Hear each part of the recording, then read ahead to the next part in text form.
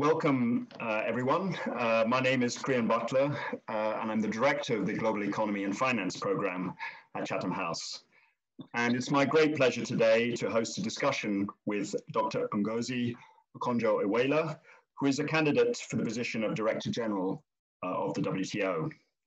This is the first in a series of such discussions that Chatham House is hosting with the WTO candidates, and I'm very pleased that this forms part of Chatham House's centenary celebrations.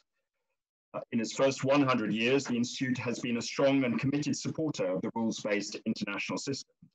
And we hope that these discussions on the future leadership of the WTO can contribute in a small way to strengthening an absolutely critical part of that system.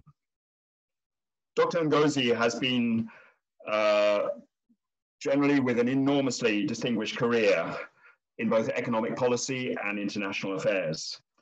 Uh, she has twice served as finance minister of Nigeria, and she has also served as managing director for operations at the World Bank.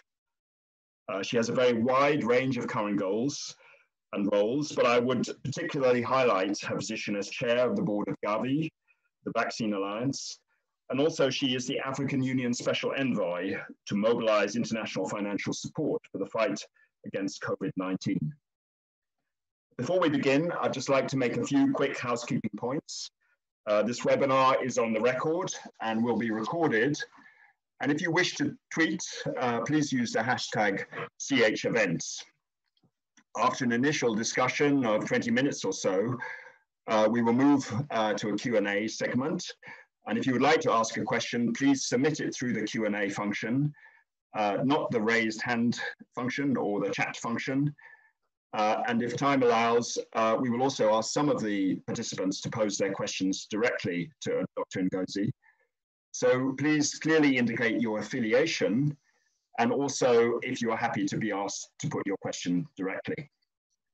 Uh, please also keep your questions as brief and to the point as possible as we have uh, a very limited time and we'll have a hard stop at uh, six o'clock, 1800 hours. Uh, Dr. Ngozi, thank you so much for sparing the time uh, to be with us today. And perhaps I could start our discussion by asking you about your overarching philosophy on global trade. It's clear from the statements that you made to the WTO Council and your press conference that you're a strong supporter. But what does this mean in practice and how does it influence your vision for the future of the WTO? Well, first of all, Creon, thank you so much and, and good day to everybody wherever you are in the world. Congratulations on the centenary of uh, Chatham House. Well, my overarching philosophy on is to have a truly dynamic trading system, a multilateral trading system, which is responsive to the challenges of the 20, 21st century. You know, a trading, multilateral trading system that is proactive, looks ahead, uh, you know, devises rules uh, that, that, take, that take care of current and future issues instead of being reactive. It shouldn't follow, it should lead uh, the way and create conditions which foster trade for the benefits of all countries. My philosophy is a, is a, is a trading system, a dynamic trading system that is inclusive because um, you know that trade has lifted up the lives of hundreds and of millions of people. But there are those who have been left behind and not included. We need a new trading system that uh, in, encompasses the, the, the, vulnerable and, and those marginalized uh, women and trade uh, issues uh, uh, that I, am very interested in, micro, small and medium enterprise and trade. So an inclusive trading system. So let me leave it there. Thank you very much. Um, one of, one of your very clear strengths in your CV is your experience operating at the highest political level. Um, but at the same time, uh, when you look at the political environment facing the WTO, today, um, it's arguably the most difficult um, environment that it's ever faced. I mean, we have growing tensions between the two largest economies. Uh, there are the, the, the, immediate impact of the COVID-19 pandemic. But also you have, uh, both in advanced countries and in developing countries, many, be, many people are kind of questioning um, the balance between the benefits of free trade, but also the costs.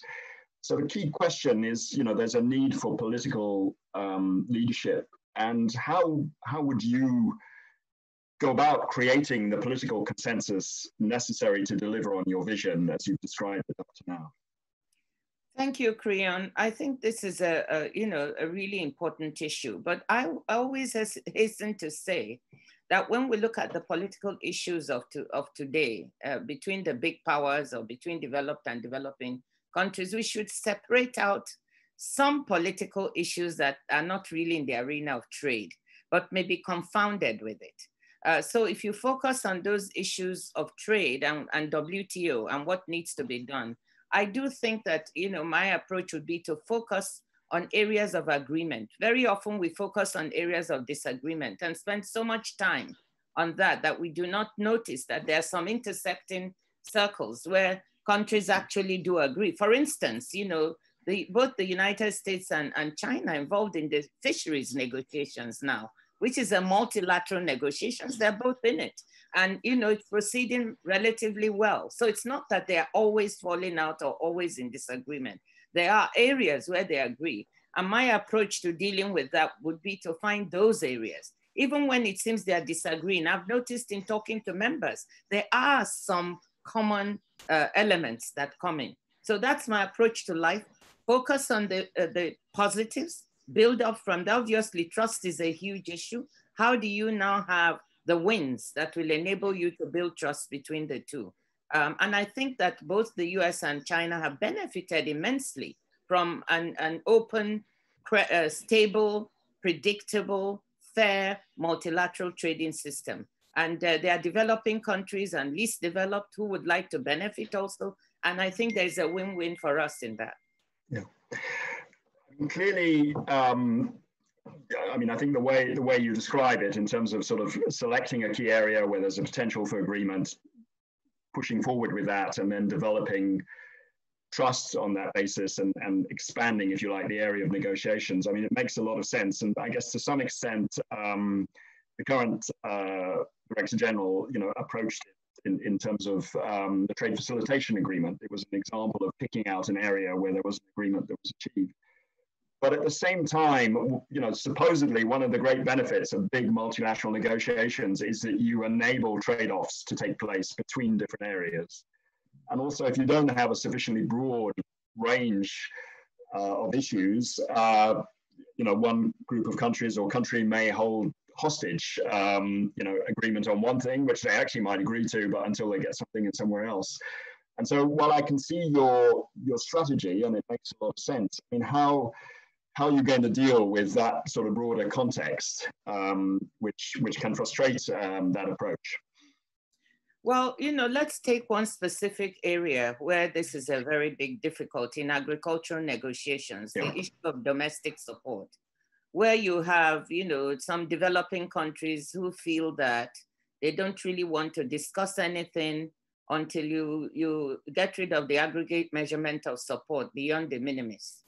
And that's their position, they're sticking to that. Uh, and then the developed countries who feel that Article 6.2 does give developing countries the ability to, you know, subsidize inputs for resource poor farmers and that this also uh, gives them room and that the de minimis of several countries, they have their agricultural systems are so large now that when you calculate that, it's huge sums of money.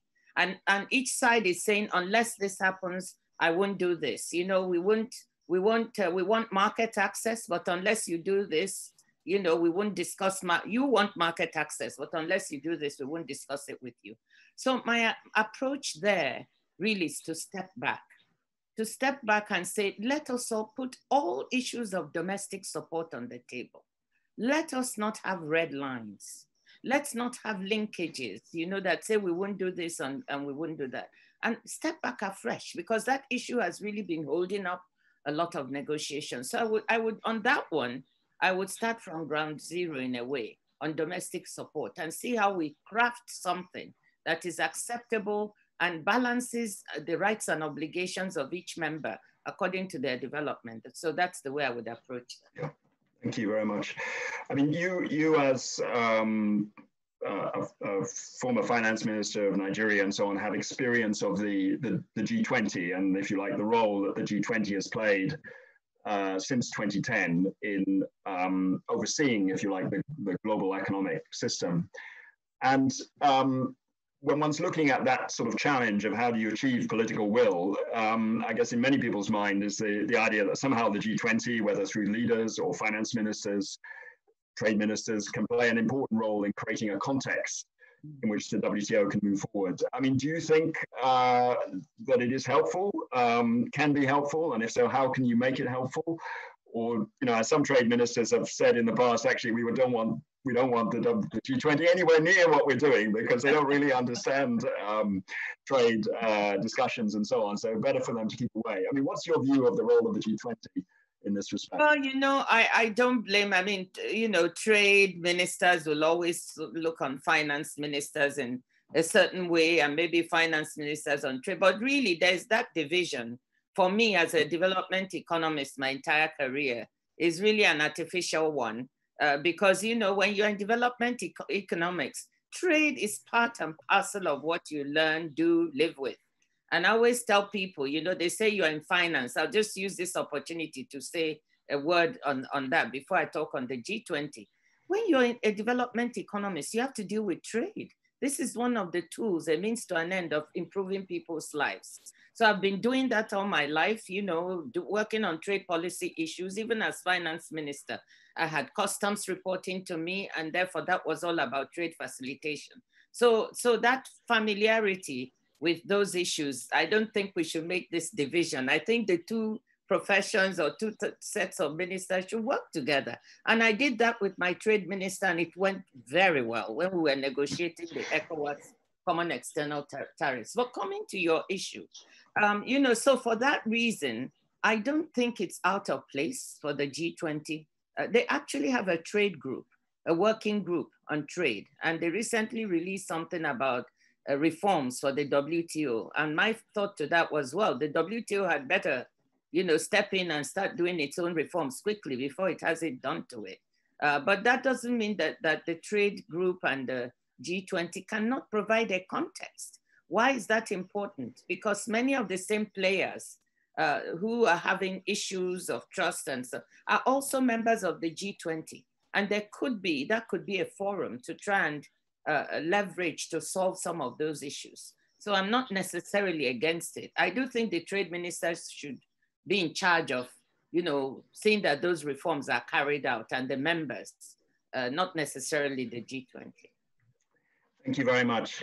Well, I'd like to put one further question before we move to uh, Q&A from the audience. Um, and uh, it's essentially around your uh, your case for being uh, the leader of the WTO. Um, I mean, I think in, in many of the interactions you've had um, with the media, but also with the WTO Council, you've emphasized the importance of selecting uh, a candidate who, who is the best candidate on the basis of merit. And uh, I mean, one can see from your CV an enormous amount of experience. Um, I mean, my question really is, what what do you think are the most important elements from your from your career to date? Um, but also, if you are successful, you will be um, the first person from the African continent to lead this uh, important organization. Um, you'll also be the first woman to lead the organization. And although you know merit is the right criterion, uh, how do you think these two attributes will be able to help you um, in making a success of uh, leadership of the WTO? Thank you. I think that's a very important uh, question. I think the WTO is, a, is at a very difficult juncture right now, where there's so many challenges and there's paralysis in the system. Um, and, and therefore it needs a certain kind of leadership. That's why I say it should be on merit. And I mean it most sincerely, of course, in saying that I think I should be the one that I, I, I, I can do it. But the reason it's important to me to focus first on who can lead is because it is clear to many people that if the WTO gets wrong, gets it wrong in terms of leadership this time, it will continue more into irrelevance. And to me, it's too important an institution to have that label that it's on the sidelines. And I do think that um, they have to try something different. Uh, you, you need, you know, it's no longer just, you need the trade uh, uh, skills and qualifications, but you also need the ability to break through some of the things that are paralyzing the system. You need the, the strong political credentials. You need reform credentials. I'm not talking about, I know how to do reform. You need people who've actually delivered reform. And I've done that, not only at the World Bank, but in my country. I wrote a book about it called Reforming the Unreformable. Uh, I've done it, and it's tough. It's not easy. It's not something you talk about. So, so that is why the leadership of the WTO matters now. Now, if you add to that, that look, an African is there, why not? We have talented people on the continent. We have three candidates now. Some people are questioning why. I have respect for my competitors. You know, I think my continent, bringing three people forward is not so bad. You know, it means we have riches of people who are capable. If you're a woman, so, so much the better. But for me, I don't think we want to turn the criteria up, you know, the other way. Have merit first, and if that person happens to be a woman, great. If there happens to be an African, great. And for me, I fit the bill on all fronts. I think if the WTO continues doing what it's been doing, uh, talking only about technical expertise. I respect technical, you need it, and I have what it is needed. But you need something beyond that. You need long experience managing in multilaterals. You need the political clout. You need the ability to reach where decisions are made. But most of all, you need boldness, courage. Reforms need to be done. Thank you very much. Um, I'm go now going to uh, ask some of the many questioners who put questions um, in the question box to, to ask their questions. And let's hope that this works properly. But I'd like to go to uh, Peter Ungphakorn initially, who has a question about the, uh, the appellate body. Um, so I hope we can unmute him and allow him to ask his question. Let's see if that works. Peter, are you able to speak?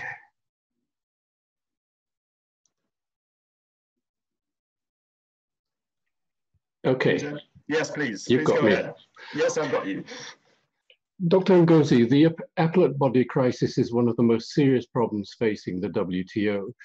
Do you think Ambassador David Walker's proposals are a realistic solution? And how would you persuade the US to move from simply criticizing the appeals process to making proposals and actually joining in the search for a solution? I'm a former WTO Secretariat staff. Yes, that's a very, that's the key question. And I, I totally share what I say about the appellate body and the whole dispute settlement system is that, look, it, it's the, one, the most critical or one of the most critical things because you cannot have a rules-based system where there is no forum to resolve disputes and issues. That makes the system over time lose credibility. So the, the need to, to deal with this issue of the dispute settlement system and the appellate body is critical. Now, I think the Walker process has uh, uh, merit. If you look at some of the things that Ambassador Walker has uh, uh, proposed or is proposing, they respond to a lot of the issues raised by uh, the Americans, which have legitimacy. I think if you look at some of them, I, I hasten to say that some of them have a footing. And I think we need to listen and understand the frustrations from the American side. Now, the issue of uh, um, the appellate body not going be, be beyond the covered agreements that members have entered into beyond its mandate uh, is one that should be looked at. And, and um, in, in the Walker process, I think there's a, a, a look at that. Uh, the issue of the amount of time it takes, the 90 days uh, uh, going beyond that in order to uh, come to a resolution of, of issues or disputes. That's also a, a legitimate issue. I mean, issues are now complex that come before the appellate body and it may take some time, but I think there's room to discuss how do we adjust for that. So I think the Walker process has good elements. I think we, the, the, that there's room to marry what there is being done there with what the Americans are saying. Actually, if you talk to the Americans, they say, look, the system as was put together is not broke. We don't need a new system. Let's just implement what we have now. That the problem is it's not being implemented. So since much of that philosophy also fits with what Ambassador Walker's process is trying to put together, I think we can come to a meeting of, of minds on how this dispute settlement system should be amended. And mark you, one of the things I'd like to see in rejigging it or reforming it or you know, strengthening it to do what it's supposed to do is also to take account of the of the structural issues that prevent many developing countries, uh, uh, the least de developed countries in particular, for having access. If you look at the settlement of disputes, you see many of these countries, yes, they're a small part of the multilateral trading system, but they hardly ever use this dispute settlement system because there are barriers, they don't have the capacity, the wherewithal to do it. So we need to also fix that. Thank you very much. Um, I'd like to go now for to a question by Catherine McKenzie. Uh, can we un unmute Catherine McKenzie, please?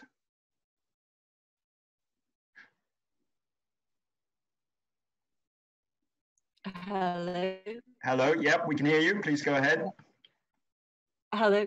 Um, yes, I wanted to ask about the role of labour, uh, labour standards and labour organisations. How do you see that, particularly because you were talking about those left behind um, by the global trading system and also about um, you know the costs and benefits and achieving a a recognized balance between costs and benefits. So I wondered how you see labour being involved in trade discussions going forward.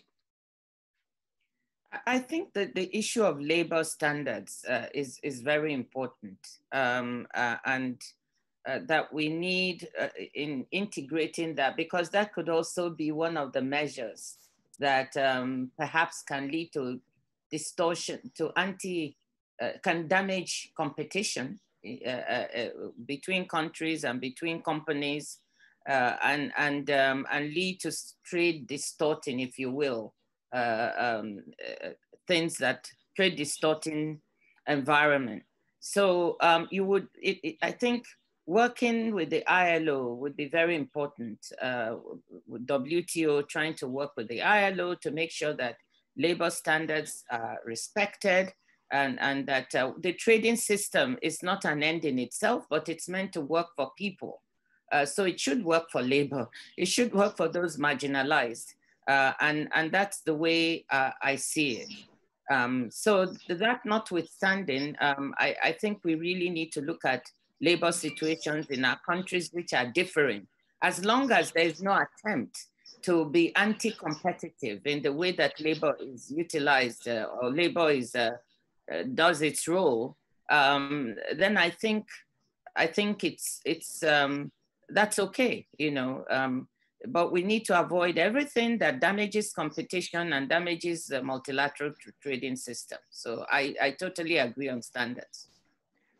Perhaps I could use that as an opportunity to, to ask a broader question, which is um, very often to get the best outcome from uh, a trade negotiation, countries not only need to participate in that negotiation and press for their own uh, key interests, but they also need to, to undertake domestic policies and domestic actions, which complement, if you like, the, the, the, the, freer trade that may follow from the, from the negotiation. And certainly when you look at some of the critiques of trade liberalization in the past, quite often you can attribute it um, for some countries to the fact they just haven't done domestic actions that were would have actually enabled them to benefit.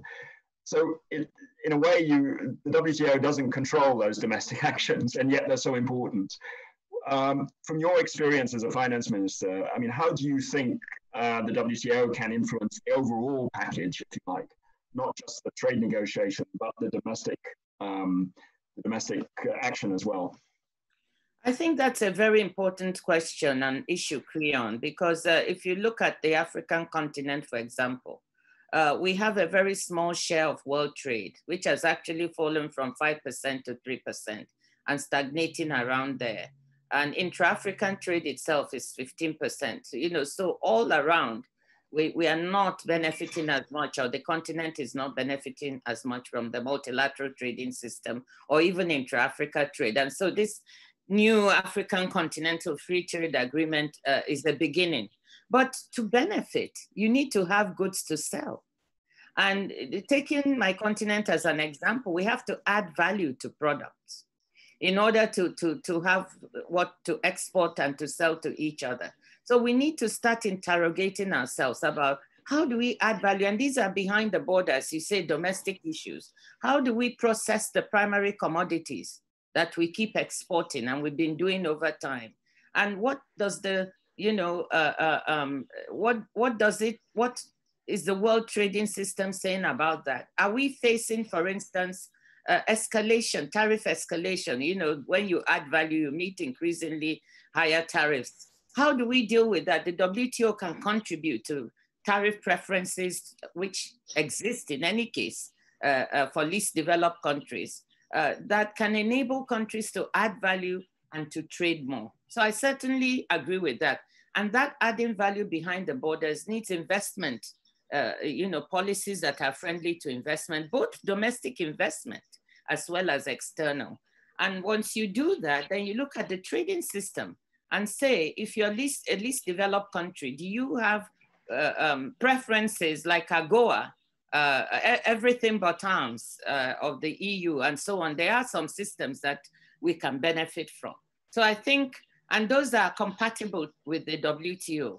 So I think in that way, we can find systems where the WTO can buttress what countries are trying to do so they can take better advantage. Thank you very much. We have uh, a number of questions from, from uh, an African perspective, and I'd like to bring in one of those uh, now, maybe some others as well. And um, I would uh, like to ask if we could unmute for Vivian Ikwezu, and I apologize if I've not pronounced your name correctly. Perhaps we could do that now. Uh, Vivian.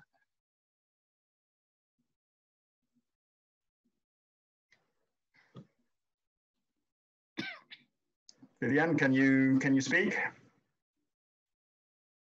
If not, maybe what I'll do is read the question. Um, uh, the question.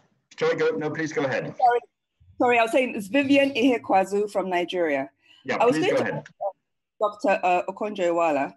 Um, as you just mentioned, the African um, Continental Free Trade Area was finally signed um, in March 2018 by our heads of state, with Nigeria finally coming on board in July 2019.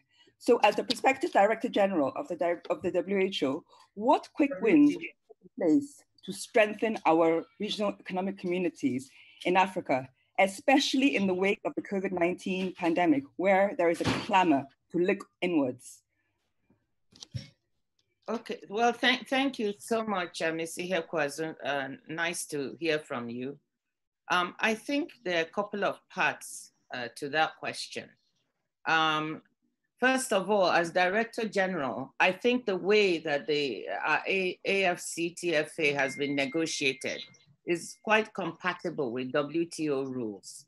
And, and so what I would be doing uh, is looking for what instruments uh, that at the disposal of the WTO could we use to help buttress, uh, you know, what we're trying, what the continent is trying to achieve. You have aid for trade, uh, for instance, uh, which could be used uh, not only to do analysis for countries, to find out what do they really need to do in order to benefit more from both trading system within the continent as well as outside, and then acting upon that, you know, resources to help strengthen and build capacity for trade. The WTO has many programs that it's had over time that I think we can take advantage of even more. I would also uh, uh, look to the other multilateral development institutions because, because some of what we have to take care of needs resources. And the WTO, even though it has aid for trade, is not really a funding institution. So how do you collaborate with the, with the World Bank, with the African Development Bank, uh, uh to, to try to deal with some of the behind the border issues we need to solve? Let's take the digital divide, for instance. The idea that we have you know, electronic commerce coming up, one of the areas the WTO, uh, some negotiations are going on and, and WTO has to come up with new rules. How do we benefit if we don't have the connectivity? Those are the things we'd be looking at, you know, to see how can WTO help work with other institutions to solve uh, uh, some of those uh, problems. Uh, uh, um, so that is, um, I think, essentially some of the things I would be looking at. I just want to repeat that we can have a free trade agreement or a free trade area. But if we do not solve some of the problems that stop us from participating in trade, i.e. adding value to our products, that's an issue. On the issue of COVID, Uh, that was the second thing you mentioned. This is an area in which actually I'm right in the middle because I'm also WHO and, envoy to the Tools Accelerator, which is uh, a program to accelerate uh, the vaccines, production of vaccine therapeutics and diagnostics, and, and allocate in a way that developing countries can benefit. In the short term, we want the multilateral trading system to make allow this to happen, to make sure there are no restrictions that prevent uh, uh, countries on the continent from accessing supplies. You know, this has been the case. There have been restrictions. Poorer countries have not been able to get access. So lifting that in the longer term, I think all over the world, we're inevitably going to see a shift in attitude, perhaps from just in time to just in case or just at home. And Africa is going to be some part of that, but I don't think it's going to be overwhelming. So we will be able to do some of our own products since we import 94% of our pharmaceuticals. But that does not remove from the need to have free uh, liberalized trade in these, in these areas so that those who cannot manufacture or who cannot uh, do so at scale can have access to a multilateral trading system uh, that, that, that allows them to get uh, their medical supplies, their vaccines, their equipment that they need uh, in, in, in a fair and equitable manner.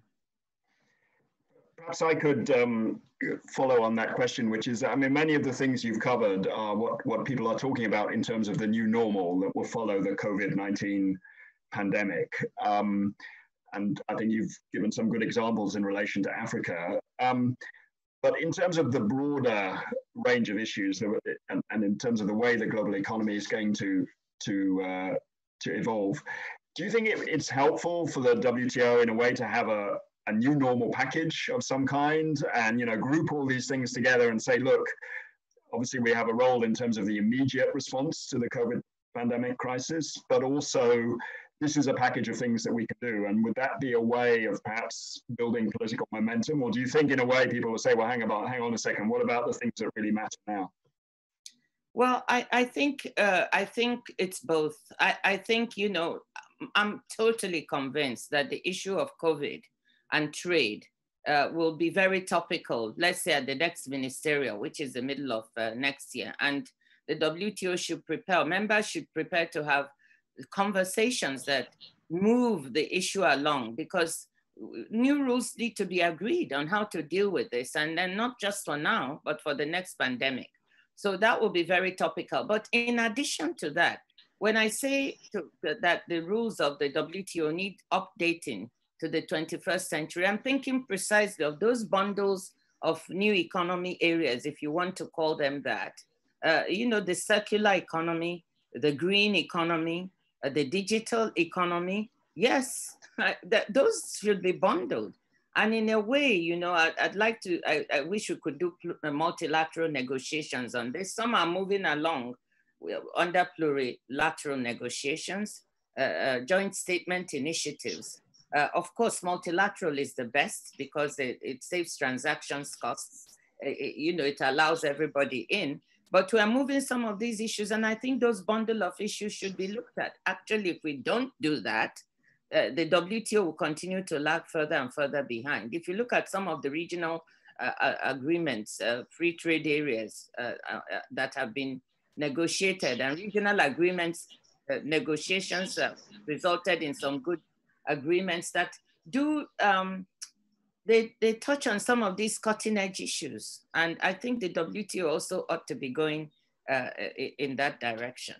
Now, let me also say that uh, there are some what I call 20th century issues left over uh, from the Doha development agenda. And you know, there's a lot of sore feelings about those issues. There are some members who feel we are past that, we should move only to the new issues. But there are also many members who feel like, look, there were specific mandates to negotiate some of these on the agricultural side, the public stock holding, the special safeguard mechanism, the cotton, you know, and there's uh, merit in also looking at those and seeing how the WTO can deal with these issues, as even as it looks at the 21st century.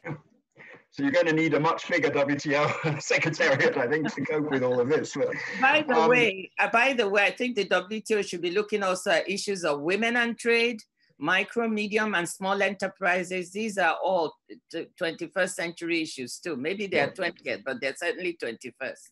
Indeed. Um, I'd like to bring in uh, another um, question, please. Uh, if we could unmute Pierre Sauvé. Um, and I think he has a question on um, the, the issue of fiscal support and uh, it's linked to new sustainable forms of production. So Pierre, could you ask your question, please?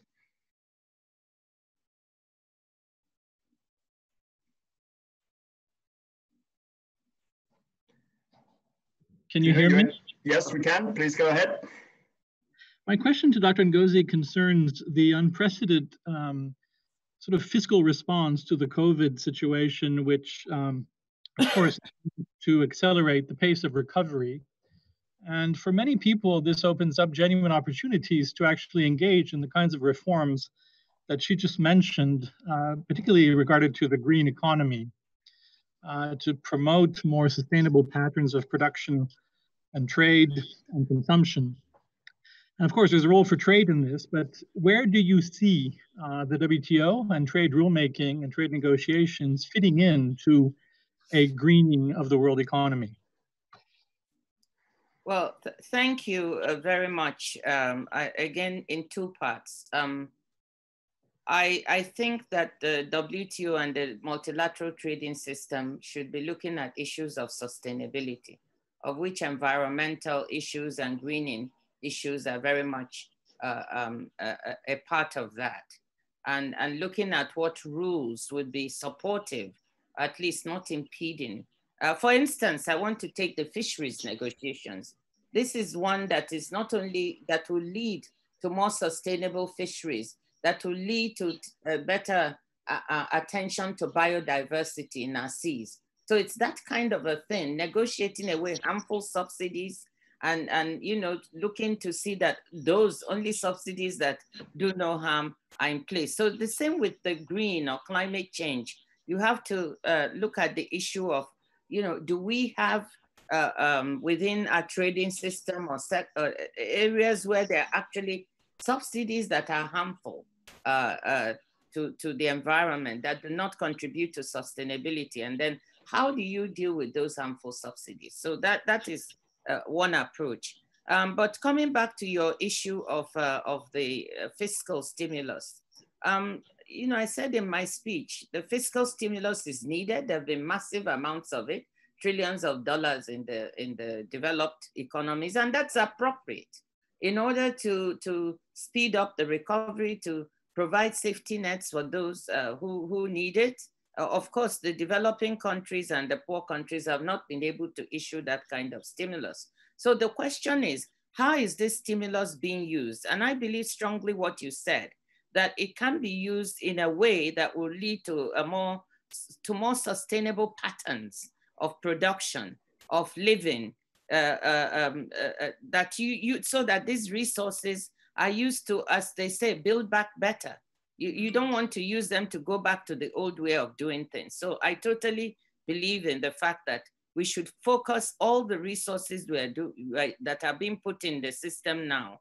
to more sustainable approaches uh, to production, greening production, uh, backing away in our industrial uh, uh system from damaging use of, uh, you know, of, um, in some cases, fossil fuels, coals, and so coal, uh, things that damage the environment. So how do we build back better using this? I think that's a very good uh, and topical issue and that the trading system can work in a way, WTO rules can work in a way that, that sustains that without impeding the national treatment principle or the MFN principle. I think we can, we can do that. The other, the last thing, sorry, the last thing I want to, to, to say about that is that the, this massive amounts of money should not restore, uh, re, uh, should not end up indirectly uh, into subsidies uh, or other forms of use that also distort, damage competition or distort the trading system. So how we implement this fiscal stimulus is indeed very important. Thank you very much. Um, we have uh, six minutes or so, so I'll try and fit in as many questions as we can, as I know you have to leave at, at six o'clock. Perhaps I could uh, ask if we could open up, uh, unmute Alan Beattie uh, from the Financial Times, who has a question, please. Alan, go ahead. Alan Beattie here. Um, it was Pascal Lamy, I think, who, who described the WTO's consensus form of um, decision making as medieval. Um, and apart from plurilaterals, which don't seem to have produced a huge amount, I haven't seen many suggestions about how the decision-making process for negotiations could be updated. Do you think we can still stick with the consensus model, or, or do you think there's something more sort of more modern and swifter and more effective that we can move to? Thank you, Alan. I mean, that is one of the critical questions uh, that, that comes up. And of course, the consensus model is uh, uh, more difficult uh, in, in a way to do. It would be quite easy to have a system in which a small group or some executive board or something made decisions. But I think we have to think back to, to the reasons for the consensus uh, uh, system and to remind ourselves that this worked in the past and to ask ourselves, why is it not working? The reason why I'm not rushing to alternatives, but trying to see how can we make it work in the way it did before is because the consensus system means that the, it, the, what, what, whatever agreements are arrived at will be implemented by all the members who participated, the 164 members. If you have another system in which a group takes decisions, not everybody shares in it, then you run the risk of members not implementing that. Uh, and that would cause even more problems uh, than, than, uh, than you can imagine. So I come back to the point. What is it that has happened that has made this consensus system? People are describing it, maybe Pascal as, as medieval now because it's, it's been tied up in knots, it's not working. Uh, so what, why is that? And I think there's a fundamental reason because there's a breakdown in trust between members. If you don't trust each other, then it's very hard to build consensus. And that is a fundamental missing, whether it's between the large members, uh, large economies, whether it's between the least developed and developing countries and the more developed countries, there's a lack of trust. And I think that for the WTO and the consensus system to function, we need to get at fundamentally what is wrong. It's not going to be easy. Building back trust is not something you talk about. You have to do it you have to find those actions that will knit people together. And I do believe they exist. I'm a bit of an optimist about this. And I think we should try and repair the consensus system uh, uh, and make it work the way it used to.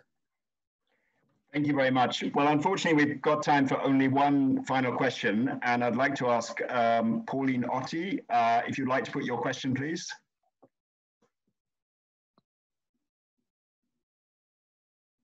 Pauline, can you speak?